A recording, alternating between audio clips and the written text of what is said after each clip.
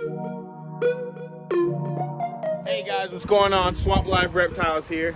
Just wanted to let you guys know, uh, today we got an awesome video. We're gonna be working on my new Florida box turtle setup.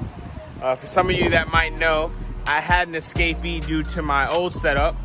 Um, I was able to find him in my neighbor's yard, which we'll see over there. He went through that fence and was in my neighbor's yard. Um, one of the more important Florida box turtles in my group.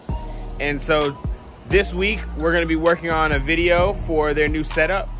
Uh, I went and got a Waterland tub from the National Breeders Expo uh, from Joel Garcia and Wayne Hill. So I'm really excited about that.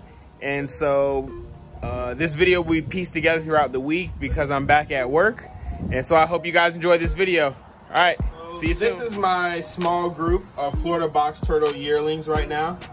I'm looking to get some more. Uh, probably one or two more to add to my group. Uh, but currently, they're being kept in this suboptimal enclosure. Uh, they get shade, they get UV, uh, and plenty of humidity. But this is not how I like to set them up. I don't want to have to give them daily water soaks. I want that to be in their enclosure.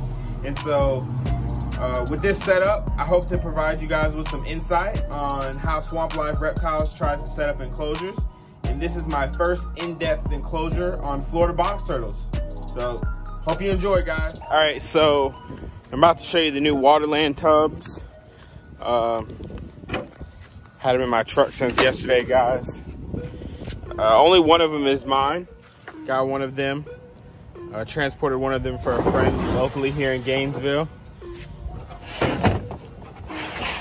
So she's coming to pick hers up today, regardless. This is the small land Waterlands tub. Uh, they're pretty awesome because you can get water, land, and uh, they work great for turtles and tortoises.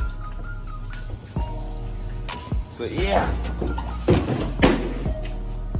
So here's one of the Waterland tubs. This is the small land, like I said. It's nine inches tall, 55 inches long, and 24 inches wide. And so this enclosure is gonna be used to house those Florida box turtles that I told you about. Um, but first, before I do anything, um, I need to work on the drainage. So this is gonna be an outdoor enclosure, which means that I'm gonna need it to be covered. Uh, and I'm also gonna need it to drain because when it rains, I don't want this enclosure to flood. All right? So what I purchased is I went to Home Depot the other day and I got some of these. Okay. Also have a two inch hole saw. I put in my drill. And I'm gonna drill these holes, guys. All right, so as you can see, I've placed the Waterland tub uh, a little bit uh, sloped. Uh, the plan is to have it slanted so that when it rains, any excess water will come down to this end where I will install these drains. Hopefully it'll work as planned. What I'm gonna do real quick is run some water in it and see how that works. So let's go ahead and test this out, guys.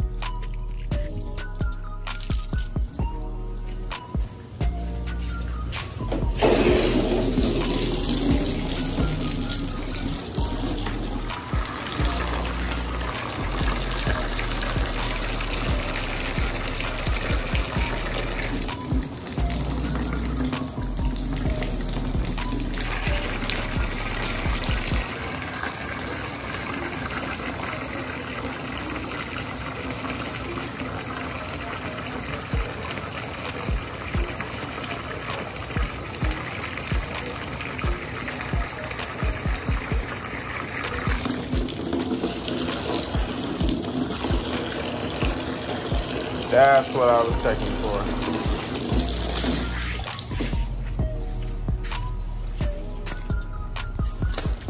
Now all I'm doing is pushing some of that water over so I can set my overflow line. That's the line at which I don't want water to go past. So on this tub, it's gonna be right here. This is about as high as I want the water. Anything other than that should drain. All right, guys? The water is off the bottom. It's about two inches. I probably should have left a little more. So I'm gonna pour some of this water back because I do want it a little bit higher.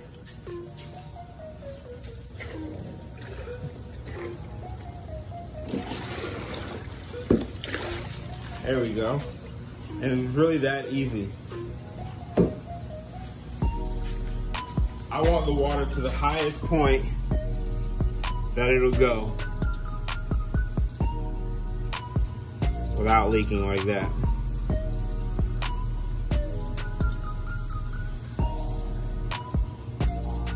All right, so I use this tape to mark at the point that I'm gonna drill the hole. I'm drilling it a little bit above it, as you'll see in a second. And that is so uh, the water won't go above that. All right, guys? Got my drill and my hole saw. All right, I'll show you what it looks like when I'm done. Got the hole, pretty easy. You gotta put some elbow grease into it. And now I'm gonna try to pop in one of those drains. This part is probably gonna require me to take out the water because you gotta really push into that bad boy to get the water out. I mean, to get the drain in. It was actually easier than I thought. It really just pushed in. So, I'm probably gonna flip it around because I want this on the inside. So, if I would have drilled that way from the inside out, it goes a lot better. So my next hole over there, that's what I'm gonna do. All right, time to line it up and get it done. All right, now I just gotta put the second one in.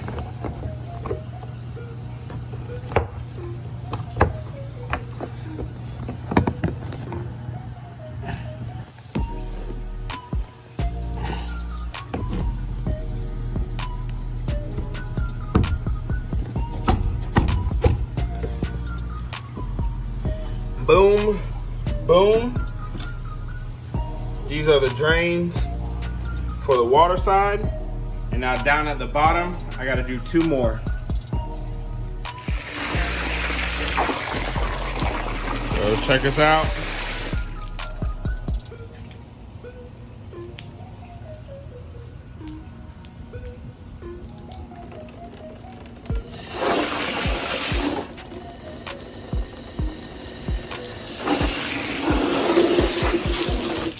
Seems like it's working pretty good. I'm now installing the land drains. I did some testing and the water pools right there. Thinking about it, I'm gonna lift the land side. Shout out to my boy Greg with Greg's Turtle Haven, uh, helping me out, running some ideas. This is my first time doing a uh, waterland tub for box turtles. So keeping the land side uh, dry is important to me right now. So, all right, I'm gonna drill these holes and I'll hey see guys, you in a minute. We're back. Uh, remember I told you this video would uh, span over the course of a week. Well, we're at the end of the week, and this is only the second time that I've been able to work on my Florida Box Turtles new enclosure. As you can see here, I am water testing it in the rain. I'll go ahead and show you guys what it is exactly that I was doing. See, this is the land portion. I'm filling it with some water to see how quick it drains.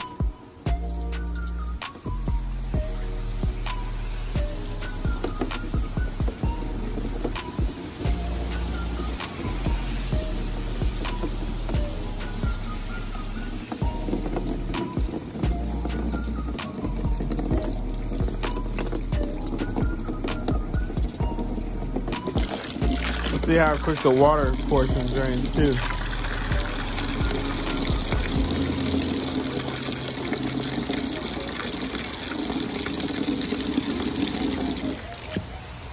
Look how quick it drains. Does a pretty good job. box turtles in it.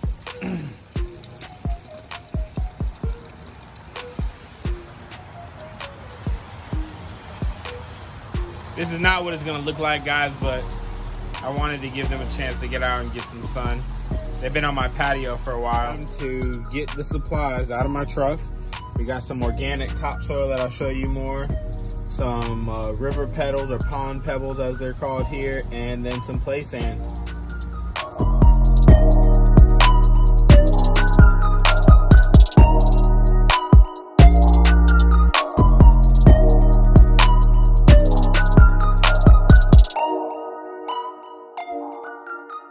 As you can see in the video, I've shown the products that I used. I got them all at my local Home Depot.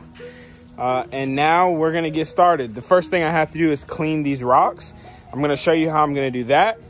And uh, I hope you guys see how easy it is. It takes a little bit of work, but it's definitely easy. All right, so I'm gonna take this bag of pond pebbles. I'm gonna place it in this tub that I've already used for other things, but it has holes in it. And it's gonna allow me to drain it while filling it with new water. All right, it'll make it nice, smooth, and easy. All right, guys, I have the rocks in the tub. Got the hose in there.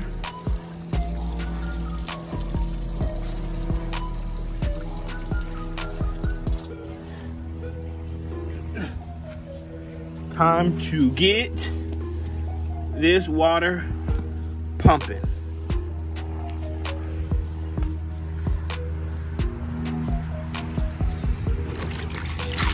All right, it's gonna take a while. You wanna keep dumping the water and letting it leak out until this is clear. So I'll come back to you guys when I have it done.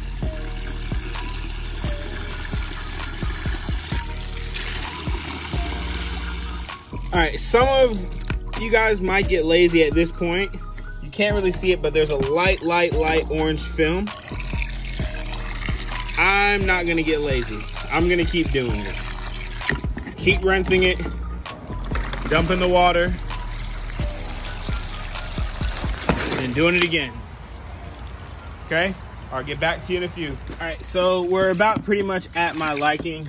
The water is pretty clear. Now we're gonna move this rock over into this tub. Okay, first I'm gonna put down a piece of screen that I've cut as a bottom layer. I'm gonna put the rocks on top of that to hold it down. And then we'll get started with making sure the land portion is how we want it. I gotta take my buddies out and put them back where they were at for now. As you can see, I've laid down the screen. I'm gonna cover the screen with gravel. That's gonna help so that the sand and dirt substrate doesn't all rinse out every time it rains. It's not gonna be perfect, guys, but it should work pretty decent. Before I do that, I gotta dump the water because they pooped in the water.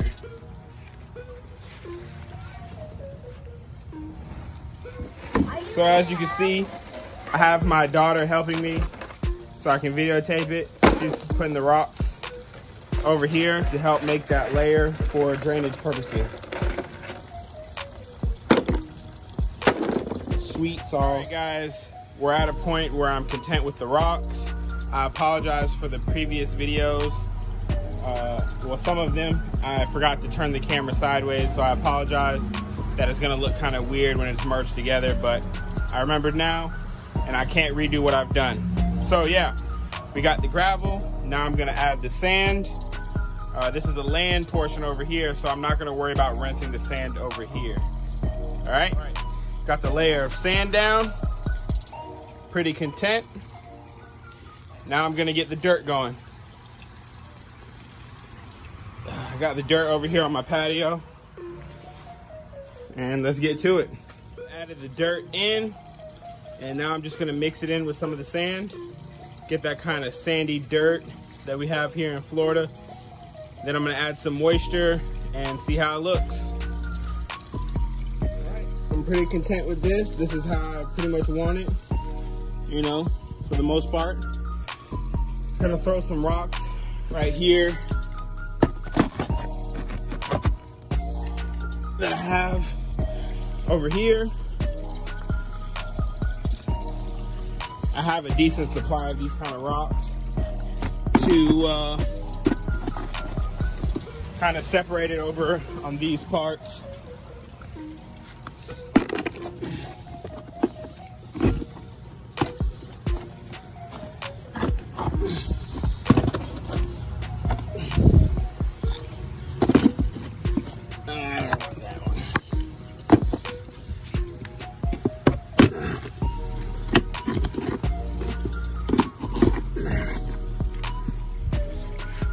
It like that.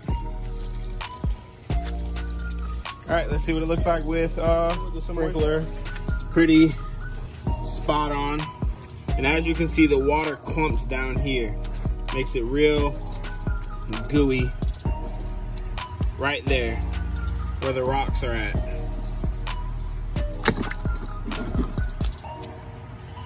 Which isn't terrible. It just lets me know that this is where I need to uh, install some more drains. I'm pretty content with the substrate though. Even though it just didn't drain as much as I would have liked. It's by no means perfect and it is going to flood the water portion. It's taking a while to get this clear, um, but I'm pretty content with how it turned out. They're around foraging. Uh, and uh, it's time to decorate this bad boy.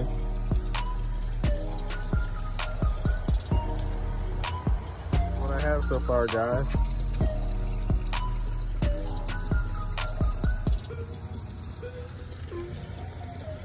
Now I'm gonna secure a lid on it and uh, we'll be back in a few guys. I have these zip ties and this metal grate that I use for a lot of my covers. I'm gonna zip tie it all the way down. And then for this piece over here, I'm gonna put egg crate. So I've gotten the lid secured on. This thing's not going anywhere. And now all I gotta do is add the egg crate on this side.